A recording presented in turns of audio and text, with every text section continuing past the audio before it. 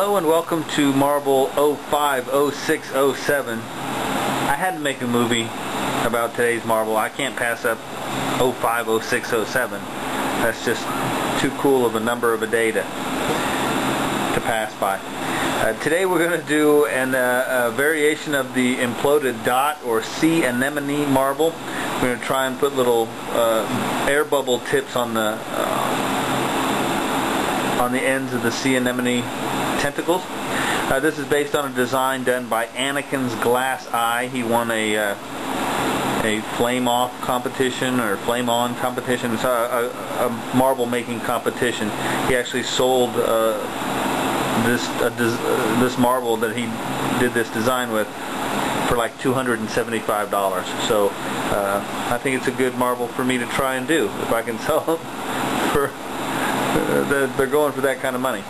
Uh, do a Google search on Anakin's Glass Eye. I think that might be his website, anakinsglasseye.com, but I'm not sure. Google him. Uh, he's very impressive stuff, and uh, he's the one that uh, I got the implosion tutorial off of. Uh, we're going to use this a scratch-awl to do the dots. It's just a metal rod with a pointy tip. I couldn't find an ice pick. I think I picked this up at Big Lots for like a buck and a half. You can get them at Lowe's, Big Lots, places like that and we're going to do uh, use that to make the indentations for the bubbles.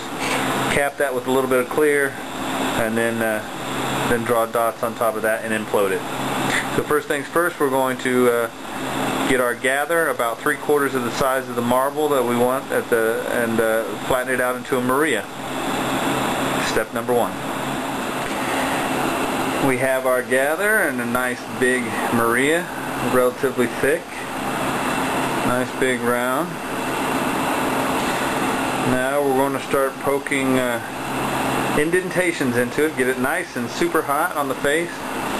Poke an indentation using the scratch awl and then let it cool a little bit after the indentation and then cover the indentation with a little drop of clear to trap a bubble in there. And then we're going to uh, tip our sea anemone with, I took some disco sparkle and mixed it with cobalt blue there. And then uh, that's kind of a, an amber transparent that it's going to turn kind of a, a, milky tan color. I don't know the actual names of a lot of these colors because I'm kind of a cheapskate. So I just I buy a, a five pound bag of mixed shorts off a guy uh, on, eBay. So I don't know the official names of these colors. But I just call them by what they kind of look like.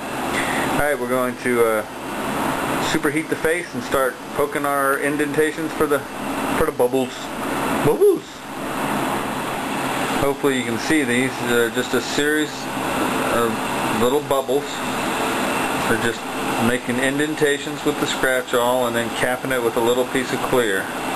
And we're going to work this all in, Maria back out flat, and we're going to layer dots of the cobalt blue mixed with disco sparkle over the top of the dots, and those will be the caps for the sea anemone.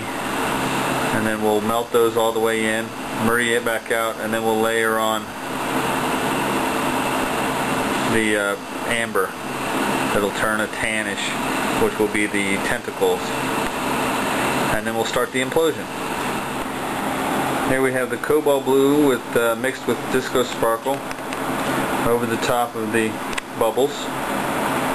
We're going to work these all the way in and start to implode them a little bit and then we will layer the next color.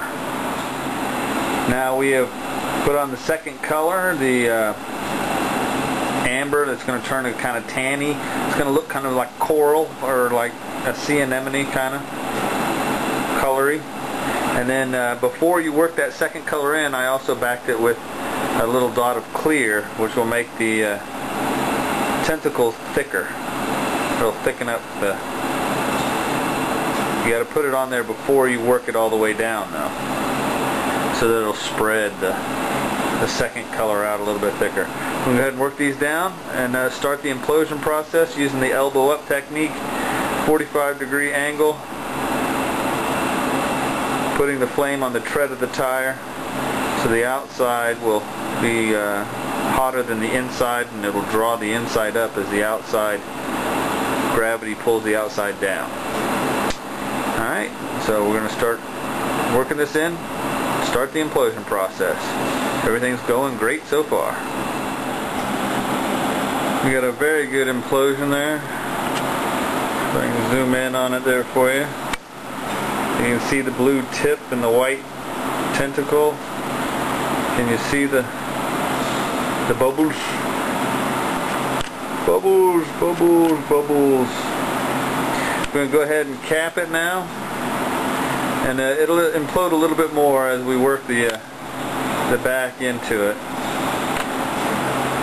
Looking good so far. I like it. I like it a lot. Here we have it back in, uh, in a relative shape. You know, it's not perfect yet. We haven't shaped it, shaped it. We've, we've got it relatively close. We worked it all in there. Now we're going to decorate the back with some uh, some peacocking. Do some dots and some twists and uh, make it look pretty. And then uh, we'll remove the rod from the top end and start shaping it. And here we have the dots for the peacocking using the same colors that uh, I used for the tentacles. The base is actually a aqua sparkle and then I used the uh, caramel, tan, amber, whatever you want to call it uh, and then the cobalt blue with disco sparkle mixed in and then a dot of clear on top of that. Eight dots around the edges, smaller dots in between the two dots for a second row and then one big dot in the middle and then we'll get all this worked in and we'll do a little twisting and peacock it. And make it a cool little back design. And there's the peacocking. I don't know if you can really see it. We'll just twist it around the little tips kind of a sunburst kind of thing I went opposing I twisted uh, every other one in opposite directions so I twist one to the right, then the next one to the left, then one to the right, the next one to the left. So we'll see how that turns out. Looking good so far. Now we're just going to work those back down in, punty on the end, remove the uh, rod from the, the lens, and start to shape it. There it is on the first punty. You can see Good design there.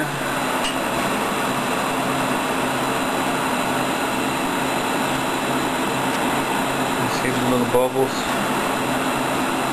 It's really not focusing in too well, is it? Uh, how's that? We're going to go ahead and shape it up and put it in the kiln. See what it looks like when it comes out. And here we have the completed product after the annealing process. See if I can zoom in there.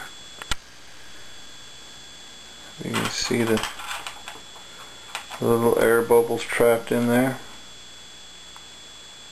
I like the way the the tips turned out. Very nice.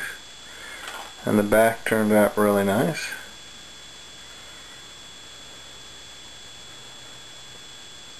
I'll go take pictures of this and post them on my website. Cdmarblez with a Z dot com. C D M A R B L E Z dot com.